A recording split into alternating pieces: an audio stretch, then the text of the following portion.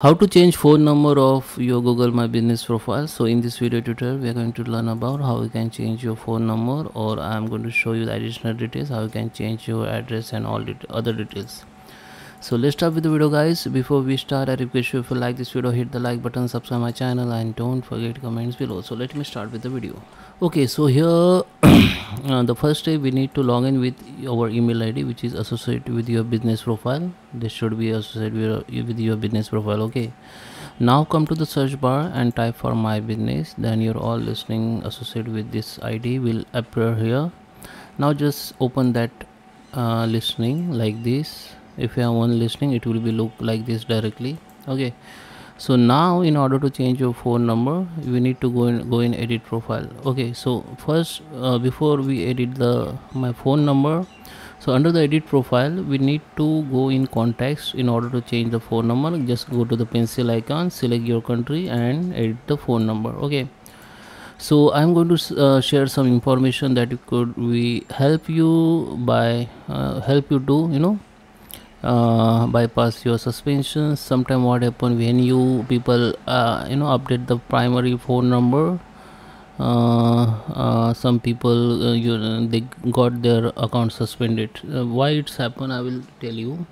First let me show you some guidance of from google gui guidelines from google to change your phone number.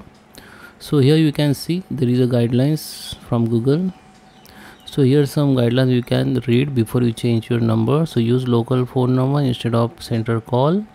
Do not provide phone number or url redirect to refer user landing page. Okay. The phone number must be under the direct control of business.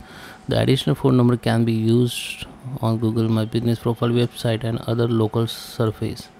Okay. So when you add additional phone number this phone number should be used for Google profile website or other local surface.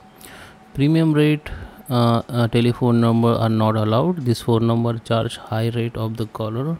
So make sure you follow this all instruction while you change your phone number. And uh, just write your phone number here don't need to write country code because you have already select the country. And phone number if you got the new phone number then search this phone number in double comma in google search.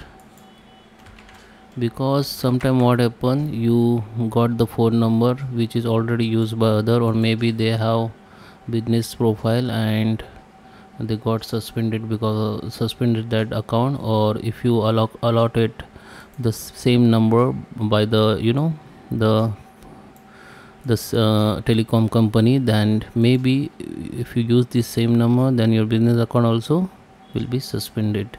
It is more chance to suspend. So just use the double comma and check whether is used by other business or not in past and add this phone number here.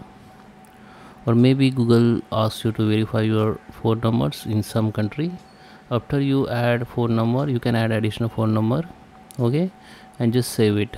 So here you can also add location of your opening hours and working hours and about section like description and categories. In more section you can add more like payment planning highlights crowd or whatever. So i hope you like this video. Please subscribe me. Thank you for watching